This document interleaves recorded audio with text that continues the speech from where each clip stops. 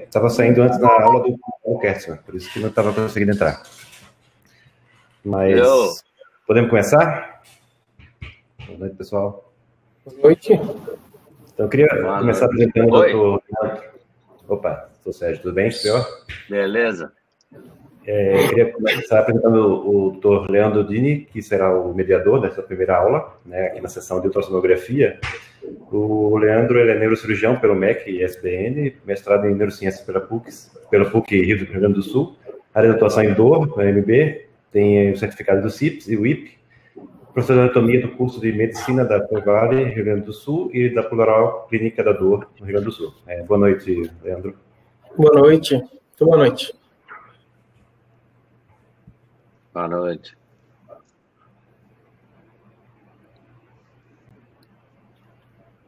Boa noite, Leandro. Boa noite. Boa noite, Sérgio. Boa noite. Está todo mundo me ouvindo aí? Ei, grande amigo. Boa noite. Boa noite. Perfeitamente. Muito bom. Eu estava eu tava na sala errada. Ah, você, né, Serginho? Poxa, meu Deus do céu. Estou falando, gente, terapia de choque. Eu acho que não é isso, não. outra Boa noite, eu Serginho. Pela... Bem-vindo, Serginho. Boa noite. É, tá bom, Zé. Beleza. Eu vou aproveitar também e apresentar o, o Dr. Sérgio Silva de Mello. Ele é anestesiologista é, do CAIO, Instituto Horizonte, Horizonte Belo Horizonte. É, área de atuação em dor para MB, instrutor de especialização em anestesia geral do IEP do Sírio Libanês, instrutor do IDEA da anestesia regional e dor no Rio. Tem o CIPS e o IP, é, da UAPMO, e mestre em ciência de reabilitação e neurofarmacologia pelo SARA no, na UNB. Sérgio, quando quiser. Tá ótimo. Deixa eu ver como é que compartilha aqui esse da tela. Tem, vocês têm uma tem aqui à esquerda, tem uma, uma, uma cruzinha. O mais aqui. Aí você clica e tem share screen. Compartilhar a tela. Compartilhar a tela. Ainda não está indo, não. Peraí. Oi? Quando, quando ainda não está indo, não. Quando, quando vai, é, aparece seu nome aqui embaixo. Ó. Seu nome ainda não está indo, não. Tá, mas está falando dando load. Está carregando. Sérgio, você já colocou, você já colocou a, a, o PowerPoint aí? vou colocar agora. Ele está na tela? Tá, tá na não, tela. Não, não, ele tem que estar tá na tela. Amigo. Pois tá é, está na tela. Tá. Então tá. Quando chegar, aí vocês me avisam. Está demorando muito. Ou, a sua internet está muito ruim, ou ele não vai, ou não vai carregar. Será? Para o compartilhamento e tenta de novo. Tá bom. Eu acho que ele está carregando, sabe? Está demorando demais. Ele, é, ele, demora assim não, ele é rápido. É, tá no Chrome, tá no coisa. Vou tentar. Tá, tá usando o Chrome? Ah, isso. Tô, tô usando. Não, já deu erro, tá vendo? É, já deu deixa erro. Eu... É. Isso. Vamos tentar de novo aqui, ó clica em mais, aí quando eu escolher, não, não escolhe a tela, não, escolhe o, escolhe o aplicativo, o PowerPoint. É, não, mas é, não é, não é o aplicativo, não é o PowerPoint, é o Keynote, né? Ah, tá. Então escolhe o Keynote. É. Eu esqueci que você é chique. Não, não sou chique, não. Aí eu vou lá de novo, né? Isso, não, mas... mais. É, teve um. Vamos ver se eu eu estou vendo um negócio aqui que o Chrome está falando que pode estar ah. tá bloqueando. Ah, está bloqueado. Então faz assim, Serginho. É. Serginho, para, para o bloqueio. Vai lá, vai lá em preferências do sistema do seu Mac. Rapidinho a gente faz isso. Pode ir. Preferências do sistema, vai em, em é, segurança e privacidade. Estou indo aqui, peraí. Aí vai cair em privacidade. Sem segurança. Não, vai, aí tem geral, né? Firewall, firewall e privacidade. Ah, tá, certo? beleza. Aí, aí você Pera vai aí. descer a tela até em gravação de tela.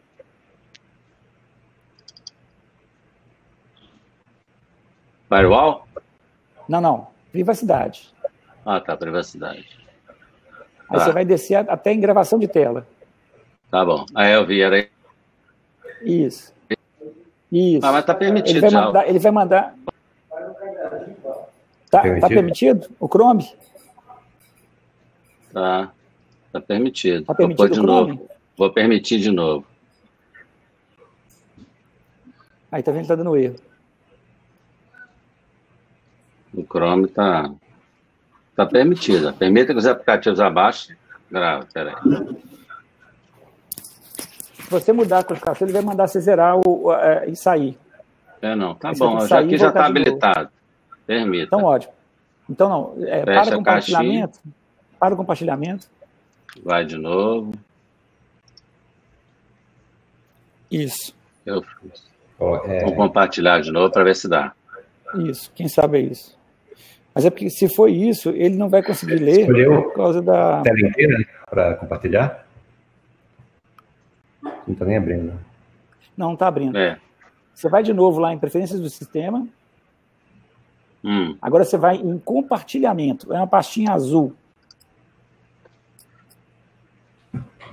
Compartilhamento. Peraí, cadê o compartilhamento? Aqui, ó. Aí você vai marcar compartilhar a tela. Compartilhar a tela. Está lá marcado já. Tá marcado? Compartilhar a internet, será?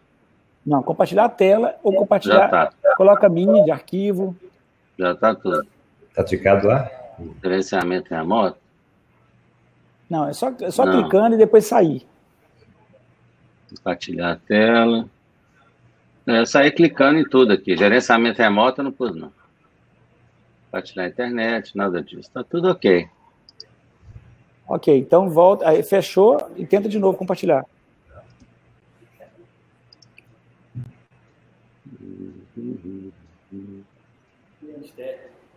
Será que é a janela do aplicativo? Não, né? Não, é, você tem que clicar, você tem que clicar em, em, em janela do aplicativo.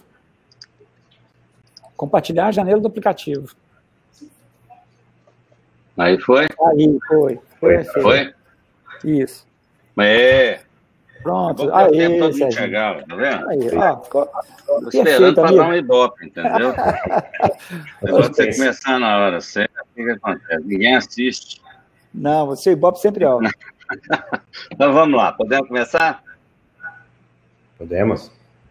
Então vamos lá, gente. Eu queria agradecer muito o convite da comissão organizadora para participar desse evento dessa magnitude, com tantas colegas que descrevem a história da, da intervenção em dor no Brasil e no mundo.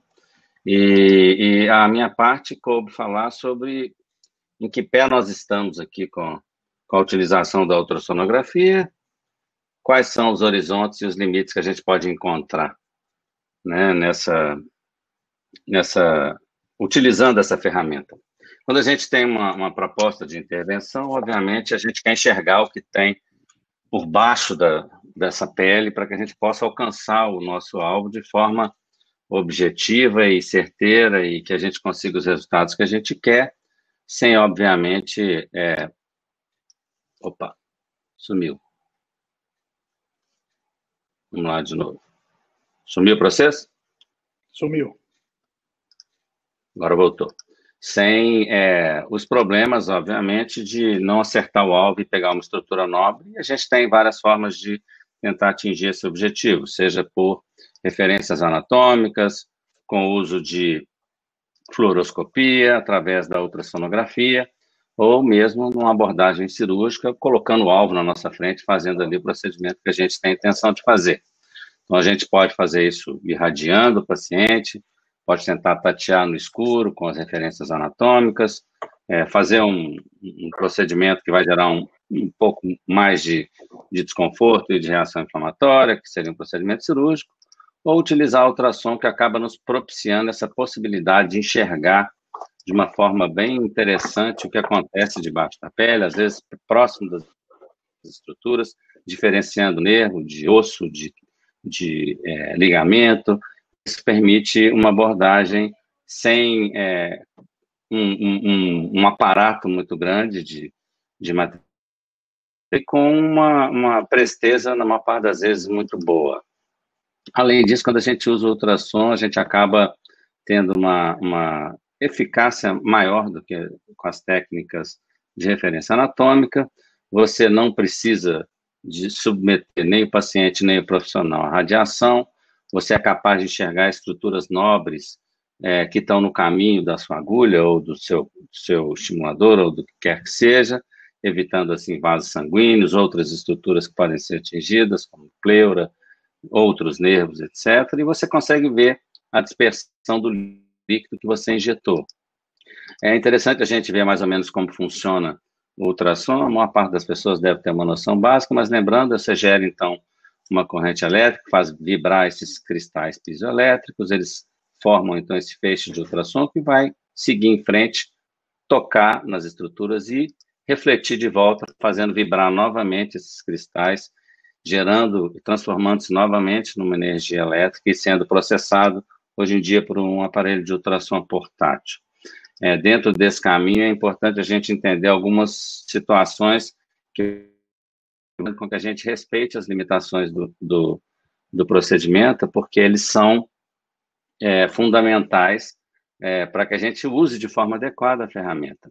Então, é, quando as estruturas são superficiais e eu utilizo um, um, transdutor de alta frequência, eu vou realmente conseguir detalhes muito interessantes daquelas estruturas, até em torno de 5 centímetros de profundidade, eu vou ter detalhes, vou poder fazer procedimentos com muita segurança, visualizando bem minha agulha, visualizando bem aquilo que eu quero é, atingir como objetivo, mas quando eu preciso de visualizar estruturas mais profundas, eu sou obrigado a lançar a mão de transdutores que têm uma frequência mais baixa, porque só essa frequência de feixe de, de ultrassom vai ser capaz de ir mais profundamente, atingir esses tecidos mais profundos, porém, às custas de uma diminuição da qualidade da imagem.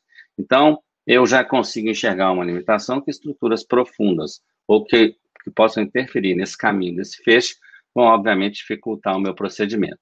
Então, quando você faz algo superficial, você consegue visualizar bem as, os tecidos, as estruturas que estão é, no seu caminho, o posicionamento da ponta da agulha, é, o, a injeção que é feita, como se distribui o anestésico, é, e isso segurança. Aqui se trata de um, nervo isquiático na sua divisão, com o tibial e o fibular, e a injeção que é feita entre eles com segurança. Quando você passa para uma estrutura mais profunda, por exemplo, uma abordagem é, parasacral do, do, do esquiático, você já não vê com tanta qualidade as estruturas, sua agulha já aparece como algo borrado, o nervo é algo também que você vê sem uma condição muito boa de garantir se eu estou próximo, se eu não estou daquele, daquela estrutura. Então, obviamente, você perde qualidade quando você aprofunda no seu disso exemplo, uma estrutura um caminho exatamente, vai criar uma hiperecóica sobre ele, e abaixo daquilo eu não vou conseguir enxergar absolutamente nada. Esse é, um, um, é uma situação que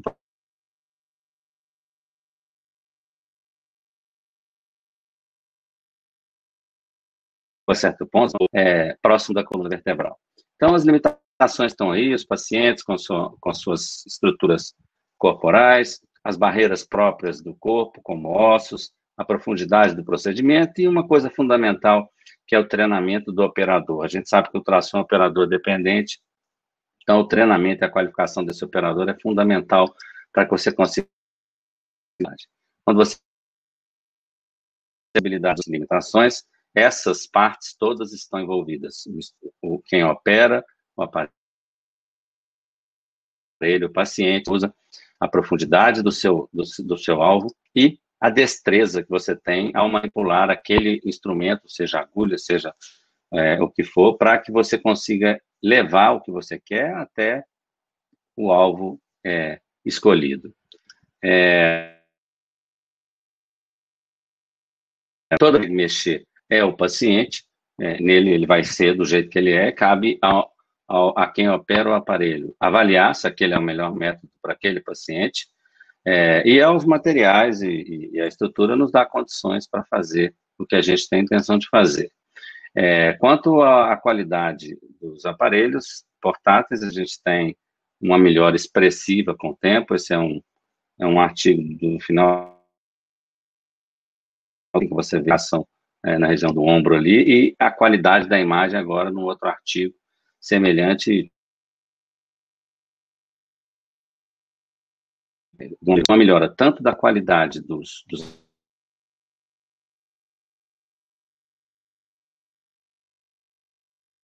táticos que passaram a ser, era uma parte das vezes, bem mais visíveis do que as agulhas inicialmente utilizadas dos procedimentos. É, então, o ultrassom acaba sendo um aparelho barato, portátil, que você consegue realizar boa parte dos procedimentos em dor, e que, sem dúvida, tem um papel que a gente faz para os pacientes com dor crônica. Um exemplo disso é a gente lembrar como era feito há pouco o bloqueio de gangue estrelado, em que você ia às cegas, palpava uma estrutura, levava o seu sua agulha até lá e realmente dava medo na hora de fazer, porque você ficava imaginando e, obviamente, a incidência de complicações acabava sendo maior. E hoje você usa o ultrassom, é uma abordagem extremamente superficial, em que você vê vasos, você vê é, músculos, ossos, e tudo que você é, planeja fazer está sob seu controle é, ao você manipular a agulha e o transdutor de ultrassom. É, então, quando você vai fazer as intervenções com ultrassom, você é, tem. Pode fazer elétrico e questione sobre a coluna por aquele problema da janela acústica. Os nervos, são dúvidas, são aqueles que você tem uma possibilidade de, de fazer qualquer intervenção sobre eles, porque em geral são bem definidos, eles são superficiais e permitem que você faça vários tipos de abordagem, como hidrodissecção, bloqueios diagnósticos, seletivos, interfaciais e muitos outros. Uma das coisas que o ultrassom nos propiciou foi a condição de enxergar algumas situações, porque ele a possibilidade, apenas a possibilidade de intervenção para a dor, mas também o, a possibilidade de, de, fazer diagnósticos. Então, é, percebeu-se que, por exemplo, boa parte dos, da síndrome de dor regional complexa estavam associadas a situações de entrapment de nervos específicos. E você fazendo a hidrodissecção desses nervos, você acabava conseguindo um resultado bastante interessante. Não é à toa que ultimamente têm sido lançados vários é, revisões sobre o assunto.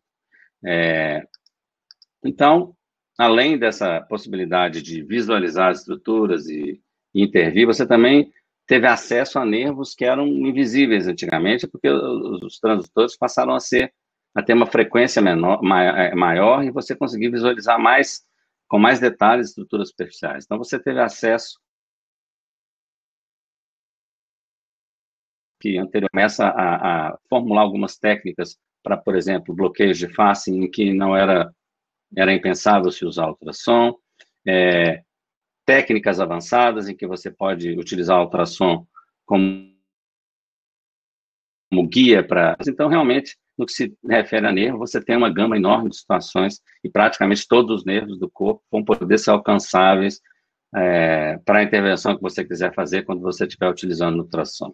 Além disso, você tem o, o ultrassom nos possibilitou enxergar formas novas de abordagem para dor.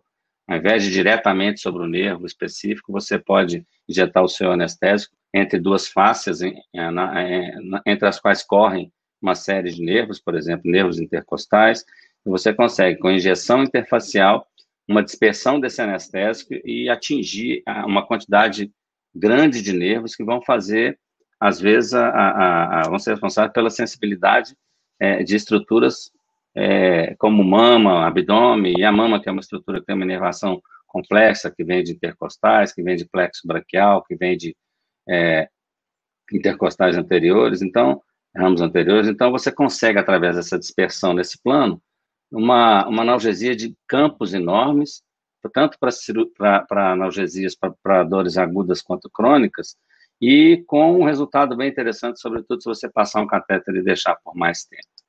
É, o, esse bloqueio eretor da espinha é um exemplo disso, em que você tem uma abordagem muito superficial, faz uma injeção tocando no, no processo transverso, abaixo do eretor da espinha, consegue uma dispersão boa e foi descrito inicialmente para dores é, neuropáticas torácicas.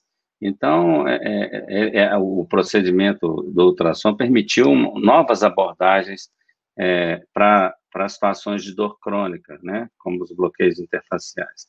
Além disso, você tem bloqueios diagnósticos que anteriormente você precisava de estruturas maiores para serem feitas e que você consegue fazer inicialmente com ultrassom e que podem ser determinantes se você procedimento naquele paciente. E mais do que isso, ele te permite coisas que anteriormente, desculpa, situações que anteriormente só eram possíveis de ser feitas com a fluoroscopia ou até por incisões, hoje você começa a ter novos desafios e técnicas sendo descritas para que essas, esses procedimentos possam ser realizados com ultrassom, obviamente, como estrutura e com o mesmo grau de exposição, tanto dos profissionais e das outras pessoas, à, à, à radiação. É, e isso pode ser utilizado em praticamente, como eu disse, todos os nervos importantes é, de serem abordados no, no, corpo. Então, você vê que são artigos muito recentes, né, escritos por profissionais que lidam com, com, com esse tipo de, de procedimento e que a cada dia descrevem mais e mais possibilidades de intervenções feitas diretamente com ultrassom. Isso faz provavelmente a gente se sentir super-homem, né? Pessoas que são capazes de fazer qualquer coisa, porque eu consigo ver lá dentro, então eu, eu sou capaz de, de realizar os procedimentos diversos, qualquer um que se apresentar para mim, sem limitações. E não é desse jeito, né? Você, quando faz, é, usa uma, uma, uma ferramenta para fazer alguma borda, tem que entender como funciona e saber das limitações. É, grande parte das limitações vai vir do profissional que segura o transitor, que não tem a formação é, adequada para avaliar se, aquele, se aquela ferramenta é adequada naquela situação e se ela pode realizar aquele procedimento. Então, a gente vai sempre, sempre é, esbarrar na parte mais importante é, da realização da intervenção, que é o profissional que vai fazê-la. Ele é capaz de entender essas limitações e, a partir daí, tirar o máximo de proveito desse material que está sendo apresentado para ele, no caso, ultrassom. Então, se você tem um paciente que tem alterações musculares que dificultam a visão de estruturas mais profundas, pacientes com IMC muito elevado, janelas acústicas que não podem ser vencidas, é, é, é estruturas muito profundas também que, que são difíceis de abordar, vão criar um, um ponto cego em que você realmente não vai ser capaz de, de realizar o seu procedimento de forma segura e adequada. E como é que você supera esses obstáculos? Obviamente, é, é, todo e qualquer é, mecanismo que você usa, ou instrumento que você usa, ele vai sendo aperfeiçoado com o tempo e cada degrau vai sendo subido pouco a pouco. Você precisa de aprimoramento dos materiais, estudo, entendimento de como eles funcionam, para que você possa propor novas técnicas e assim resolver os problemas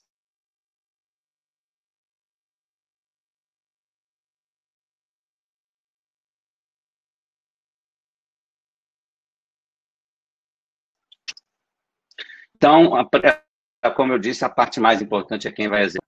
Você vai vencer esses obstáculos com conhecimento e ciência, que é obtida com estudo, né, e a realização de workshops, de cursos, de pós-graduações, de especializações, que vão te permitir fazer o treinamento de agulhamento, visualizar as estruturas, é, poder participar de workshops com cada área, dar certificações adequadas, aqui no Brasil sempre sob a tutela da Sobramid, e aqui nós temos, não existe desculpa para não fazer uma boa formação, nós temos escolas reconhecidas internacionalmente, espalhadas pelo Brasil, e que podem ser responsáveis pela formação de grandes profissionais. Não precisa nem de sair do Brasil para que isso seja possível. Então, é preciso estudar para que você conheça o processo, possa vislumbrar a possibilidade seu procedimento, testar para ver se aquilo é capaz, se realmente eu posso colocar agulha nesse lugar, é, verificar se quando eu faço aquilo, a agulha está no lugar certo, comparando às vezes com outro processo que seja o padrão, por exemplo, com fluoroscopia, comparar isso com a, fluor, com a fluoroscopia, por exemplo, depois que eu vi que a agulha é colocada no lugar certo, eu quero ver se realmente os dois funcionam da mesma forma, né? Para depois você aquele, aquele método como método padrão.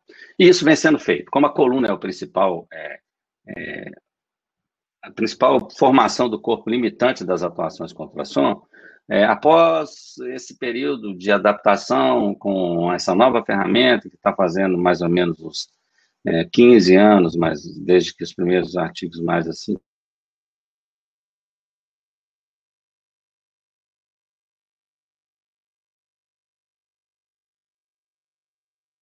imaginar. Então, você consegue fazer procedimentos, é, ou pelo menos propor alguns procedimentos em que você use ultrassom e você coloque a agulha no local adequado, com segurança, e confira, por exemplo, com a tomografia ou com a escopia, e depois efetivamente ver se, ao colocar a agulha naquele lugar e fazer a injeção, eu consigo resultado semelhante.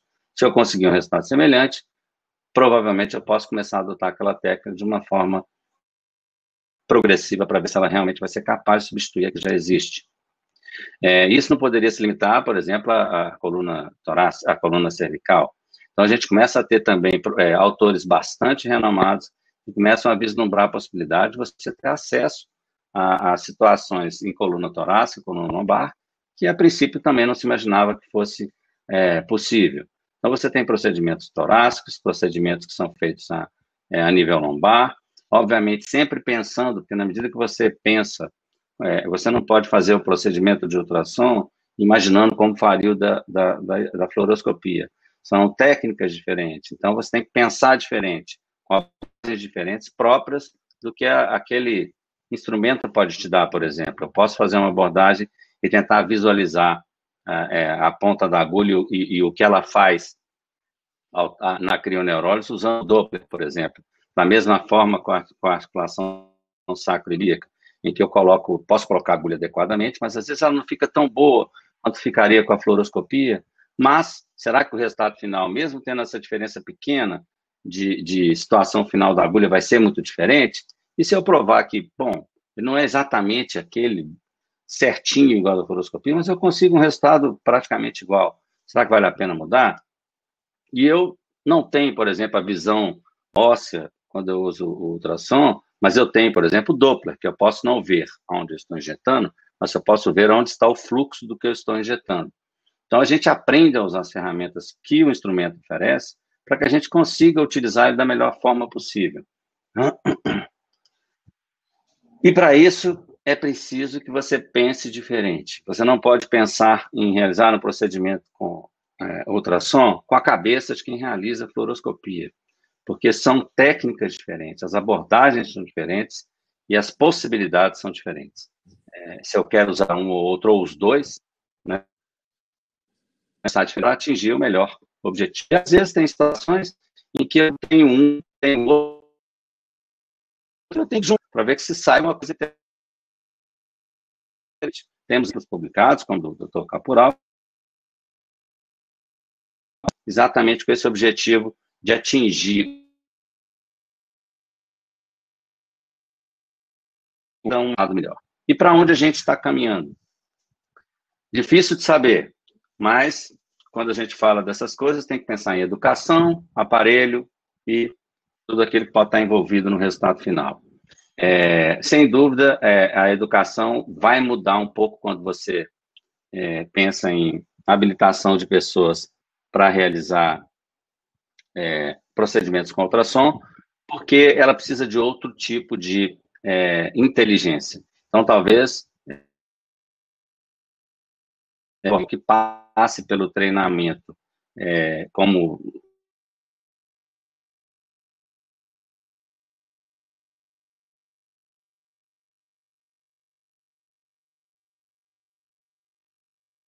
ter muito menos dificuldade. A formação deles de sonografia, de enxergar o corpo do seu ponto de vista do ultrassom. Isso facilita bastante a abordagem. Outra coisa é que nós vamos evoluir é, para aparelhos portáteis bem mais é, capacitados do ponto de vista de qualidade de imagem e de ferramentas que você pode utilizar. E se hoje a gente tem algumas limitações que não esquentam muito na hora de utilizar, você vai parar de ter esse tipo de problema, porque estão sendo feitas pesquisas, novos processamentos, e que diminuem esse aquecimento, por exemplo, transdutor é, para fazer os seus procedimentos. Além disso, a gente está caminhando para coisas ainda mais interessantes, né?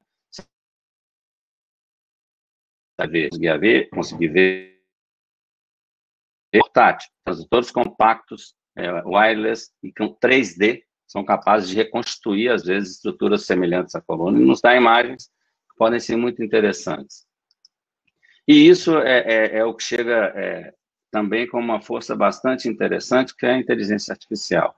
É a capacidade da máquina é, interpretar aquela imagem que ela está vendo e, a partir de padrões repetidos e definidos, começar a identificar determinadas estruturas, facilitando tanto o diagnóstico quanto a abordagem das estruturas é, que a gente vai agir sobre elas, né? Você tem, por exemplo, é, como eu vou mostrar para vocês, é, é, o do nervo femoral, que eles fizeram um estudo, em que, em que o, o, essa inteligência artificial acoplada ao aparelho de ultrassom identificou com bastante facilidade o nervo femoral em várias situações.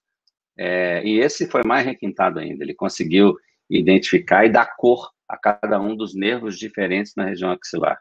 Claro que são experimentos iniciais, mas são que nos fazem vislumbrar um futuro bastante interessante que se apresenta em termos de cooperação da máquina e aprendizado dela para que ela se torne cada vez mais parceira dentro daquilo que a gente se propõe a fazer.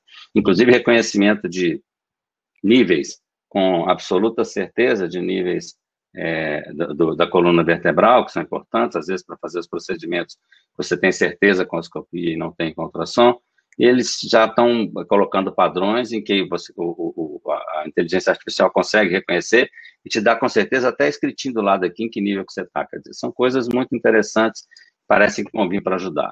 E é uma coisa que está acontecendo em outras especialidades, é, que é a fusão de imagens, por exemplo, do ultrassom com tomografia ou ressonância. Então, aquela janela que você não consegue enxergar, você acaba é, fundindo as imagens, vendo a localização da sua agulha e colocando, conseguindo colocá-la, apesar de ser uma abordagem de contração, no ponto correto, com segurança e fazendo a injeção de forma correta. E no final das contas, se tudo não der certo, se tiver perdidinho, essa, essa teleultrassonografia pode ser a, a solução para um colega seu que está à distância, que é mais proficiente que você, está vendo uma imagem, te ajudar e fazer com você ali aquela, aquele procedimento com mais segurança e com mais eficácia. Então, é isso que eu tinha para falar. É, eu estou à disposição depois. Agradeço mais uma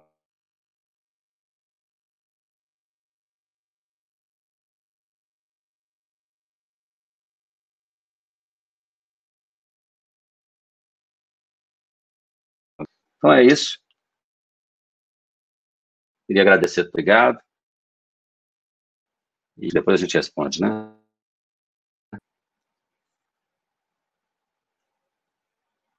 Alô?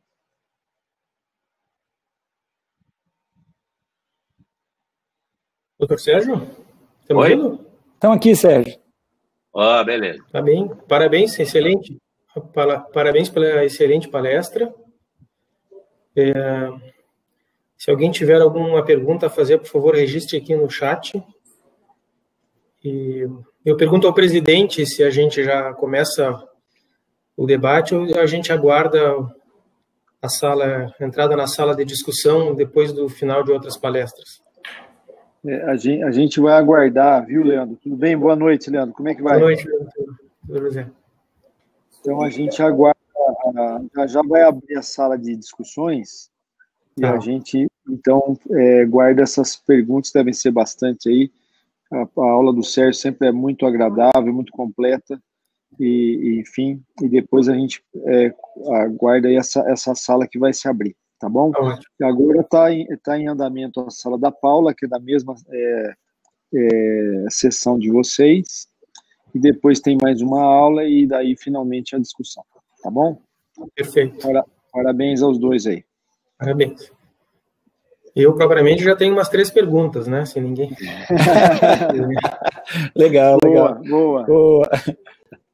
O que a gente pode fazer agora, Sérgio, é, Leandro, eu convido vocês, é para a gente poder é, é, selecionar ali em cima a sala da Paula, a gente vai para lá, e aí depois, na hora que a gente for para a última palestra, a gente reúne na última sala e a gente faz a discussão depois da última, da última, da última palestra.